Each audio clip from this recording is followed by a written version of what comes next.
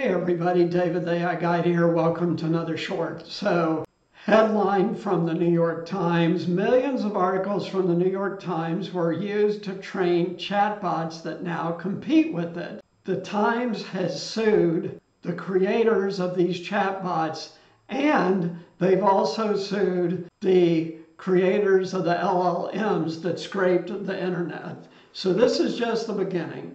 Most creators are pissed that their creative work has been completely stolen by these models with no compensation. This is a direct violation of copyright laws, not only here, but globally. So this is an issue where ultimately there's going to be a massive multi, multi billion payout to compensate creators for abusing their work. Thanks so much. Take care.